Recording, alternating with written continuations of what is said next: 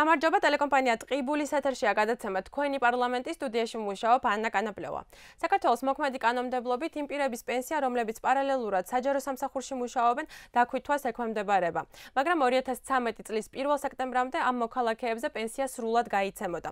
დაქვითვის შედეგად ბიუჯეტისთვის გადასახდელი თანხა თვეში დაახლოებით 400000 ლარს შეადგენს. ვინაიდან ჩამოსაჭრელი თანხის ამოღება რთულია, საქართველოს მთავრობა უკვე გაცემული პენსიის ლეგალიზაციის ინიციატივით გამოდის. შესაბამისად შესაბამისი ცვლილებები შევა კანონში სახელმწიფო პენსიის შესახებ. კანონპროექტის მიხედვით კანონს არ აქვს უკუძალა, ანუ უკვე დაქვითული პენსია პენსიონერს უკან არ დაუბრუნდება. რა მოსაზრებები აქვთ დეპუტატებს ამ საკითხთან დაკავშირებით, ჩვენი სტუმრისგან შევიტყობთ.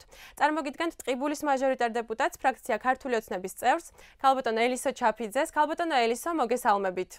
მოგესალმებით ანა და ჩემთვის არის ძალიან სასიხარულო და დიდი პატივი რომ პირველ რიგში მივესალმო ჩემი სამაჟორიტარო ოლქის ამომრჩევლებს, ტყიბულის რაიონის ამომრჩევლებს, რომლებიც რა თქმა უნდა განსაკუთრებულად მიყვარს და ვიბრძვი განსაკუთრებით მათი უფლებების დასაცავად. გმადლობთ ჩვენი გადაცემის მეორე სტუმარი უმცირესობის წარმომადგენელი უნდა ყოფილიყო თუმცა ნაციონალური მოძრაობის წევრებმა გადაცემაში მონაწილეობაზე უარი განაცხადეს. როდესაც ერთ-ერთი მხარე უარს ამბობს გადაცემაში სტუმრობაზე, კითხობს რეგიონული ტელეკომპანია გვაწუდის. ამჯერად ქალბატონი ელისო ტელეკომპანია ტყიბულის ჟურნალისტების მიერ მომზადებულ კითხვებს უპასუხებს. გადაცემის ფორმატის მიხედვით ჩვენ სტუმარს ექნება 25 წამი შესავალი და შემაჯამებელი სიტყვისთვის და 25 წამი კითხვებზე პასუხებისთვის. ქალბატონო ელისო სანამ კითხვებზე გადავა გთხოვთ, გთხოვთ ზოგადად თქვენი აზრი გამოხატოთ ამ თემასთან დაკავშირებით. გისმენთ? მივესალმები საქართველოს მთავრობის გადაწყვეტილებას, რომ პენსიის მიღების პარალელურად ადამიანებს უნარჩუნდებოდეთ საშუალება, რომ მათ გარკვეულწილად გააგრძელონ საკუთარი საქმიანობა, თუ კი აქვთ საკმარისი ძალები და რესურსები. დღეს ჩვენ გვყავს 3148 პენსიონერი, რომლებიც იღებენ პენსიის პარალელურად გარკვეულ შემოსავალს და ეს არის ჰუმანური აქტი საქართველოს მთავრობის გადაწყვეტილება, რომ ამ ადამიანებს აღარ დაუქვითოს პენსია. მე კანონპრო პროექტის განხილვის დროს მექნება დიდი სურვილი, რომ სახელმწიფო მოახდინოს იმ თანხების ლეგალიზაცია, რომელიც გაცემულია რეგრესის პენსიების სახით. ახლა კითხვებზე გადავდივართ, მოცემული კანონის მიხედვით ხდება მხოლოდ უკვე გაცემული პენსიების ლეგალიზება. აღნიშნული პირები რა სახით მიიღებენ პენსიას მომავალში, ანუ მოხდება თუ არა დაქვითვა?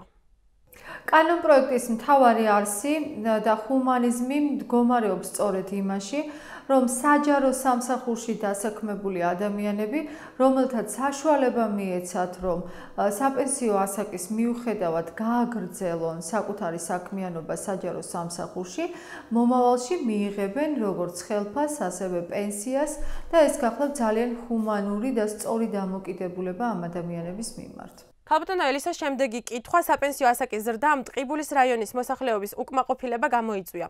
ხომ არ იგეგმება საკანონმდებლო ცვლილება, რომელიც საპენსიო ასაკის დაწევას განსაზღვრავს? დიახ, ეს პრობლემა ჩემთვის ცნობილია და ტყიბულს როგორც მაღალმთიან რაიონს ჰქონდა ძალიან მნიშვნელოვანი შეღავათები, რაც ასეთ რთულ რეგიონში ცხოვრებისათვის და იქ მოსახლეობის ყოფნისათვის არის ძალიან მნიშვნელოვანი. მე ვაპირებ ამ საკითხის დაყენებას მომავალი წლის ბიუჯეტში და გარდა ამისა, ჩვენ მუშაობთ ადგილობრივი თვითმმართველობის შესახებ კანონზე და მაღალმთიანი რეგიონების კანონზე, რომელშიც ასევე იქნება მსჯელობა აღნიშნულ საკითხებთან დაკავშირებით, თუმცა საპენსიო ასაკის შემცირება უახლოეს ეტაპზე არ იგეგმება. და ბოლო კითხვა, მალე პარლამენტი ახალ ბიუჯეტს განიხილავს. იგეგმება თუ არა პენსიის ზრდა და რაზეა დამოკიდებული ეს პროცესი? ჩვენ ვართ ძალიან ბედნიერები, რომ ეტაპობრივად ვასრულებთ ქართული ოცნების წინასაარჩევნო დაპირებებს. ჩვენ ერთი წლის წინ დავპირდით საქართველოს მოსახლეობას, რომ ერთი წლის განმავლობაში პენსია გაიზრდებოდა საარსებო მინიმუმამდე და დღეს დაზღვევის დანამატთან ერთად პენსია სწორედ საარსებო მინიმუმს უტოლდება. აა ბიძინა ივანიშვილის პროგნოზით 2 წლის შემდეგ საქართველოსი ეკონომიკური აღმავლობა უნდა დაიწყოს და შესაბამისად პენსიები კიდევ უფრო გაიზრდება. ჩვენ ძალიან დიდი იმედი გვაქვს, რომ მომავალი წლის ბიუჯეტი იქნება უფრო დიდი ვიდრე წლევანდელი წლის ბიუჯეტი, რომელიც ფაქტობრივად ჩვენ მემკვიდრეობით გვერგო. ქალბატონ ელისა და გადაცემის მიწურულს გთხოვთ შეაჯამოთ ეს თემა, ასევე 25 წამი გაქვთ დრო.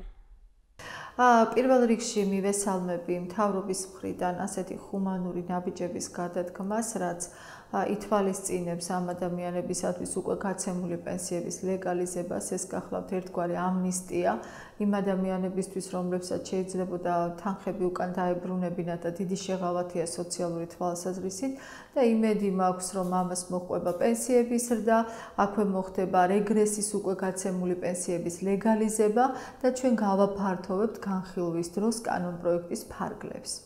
ქალბატონო ელისო, დიდი მადლობა იმისთვის, რომ იყავით ჩვენ დღევანდელი გადაცემის სტუმარი, წარმატებას გისურვებთ. უღრმესი მადლობა. თქვენც ასე. ასეთი იყო თქვენი პარლამენტი დღეს. მე გემშვიდობებით მომავალ შეხვედრამდე.